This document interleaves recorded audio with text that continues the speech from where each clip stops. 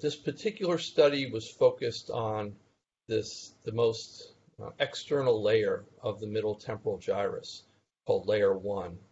And in there we found about 16 different types of cells um, in layer 1 of the middle temporal gyrus. And so now what we're doing is we're expanding that analysis to cover all the different cortical layers of that region of the, of the brain.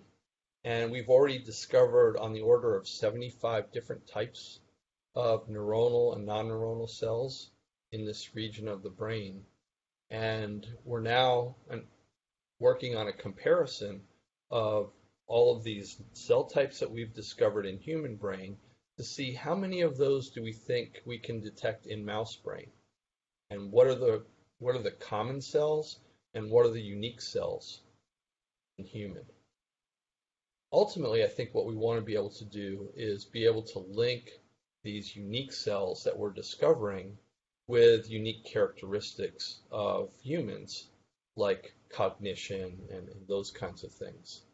And I think that's kind of the holy grail in this kind of study is to be able to take this very detailed molecular information about these neuronal cell types and link that with what we know that's unique about um, humans and, and how we think and how we work.